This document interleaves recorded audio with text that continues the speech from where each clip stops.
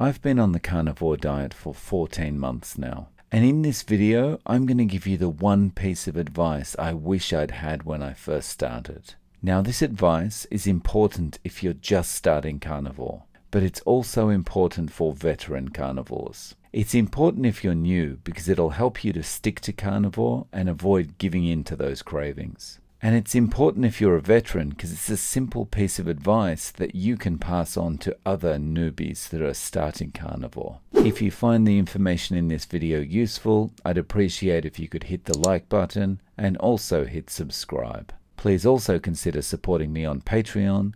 I'll leave the link to Patreon in the description for this video. Let's get into it. So regardless where you are on your carnivore journey, imagine this. You've got a lot of weight to lose and you've got a lot of health issues. You found out about carnivore just a few weeks ago.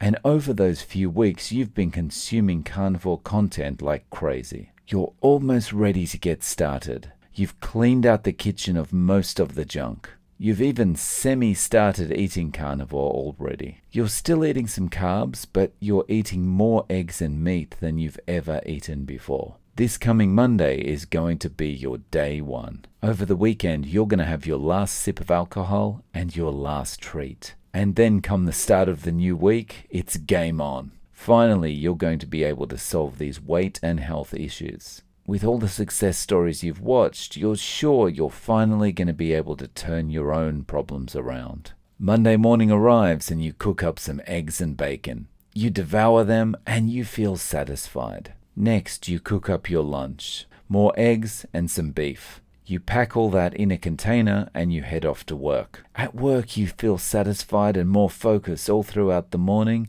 and so you delay your lunch for an extra hour. When you finally do have your lunch, opening that container of cold eggs and beef and sticking it in the microwave, it no longer looks as appetizing as you expected. But you know you're doing the right thing, so you continue with your preparation. You sit down and polish off your lunch. You feel satisfied, but emotionally you don't feel quite as satisfied as you did after breakfast. Something's not feeling right.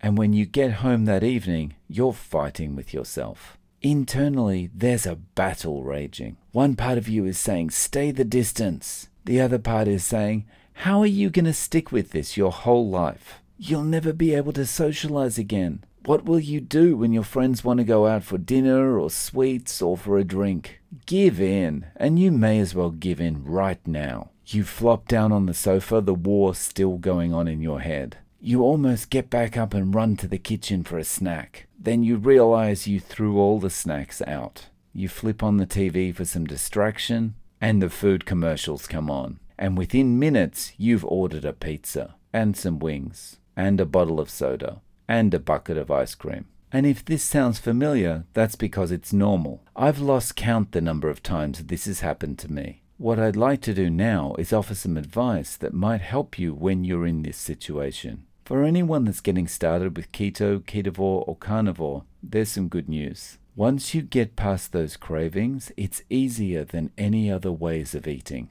because you don't feel hungry. But getting past those initial cravings can be tough. So here's what to do. Stop thinking about carnivore in the long term. When you're just getting started, your emotions around food are in the moment. Your emotions about food don't care about next week, next year, or even tomorrow. Your emotions care about being satisfied right now. So that's the way you need to be thinking about carnivore. Don't think about how you're going to feel next week. Just focus on sticking with carnivore for a short period. When those cravings hit, don't let your mind wander into carnivore having to be a long term thing. Focus on the now. Focus on getting into bed that night without giving in to any cravings. And tell yourself if you wake up with cravings, then you'll reevaluate then. Just focus on getting into bed that day without giving in. And give yourself that little bit of slack that you're going to be able to reevaluate tomorrow. And this suddenly becomes much more achievable and reframes you out of that mindset of, I can't do this forever. A focus on getting into bed without giving in is more likely to lead you to success. And when you wake up the next day, you'll feel better because you've now gone 24 hours without any junk. And you'll feel better because you didn't give in. And your resolve will be up a notch so it'll be easier for you to continue. And all you need to do is focus on not giving in during a 24 hour period. Don't focus beyond that until you know you're ready. I'd love to know your thoughts in the comments below. Guys, thanks for watching. Please don't forget to click like and subscribe, and I'm looking forward to seeing you in the next video.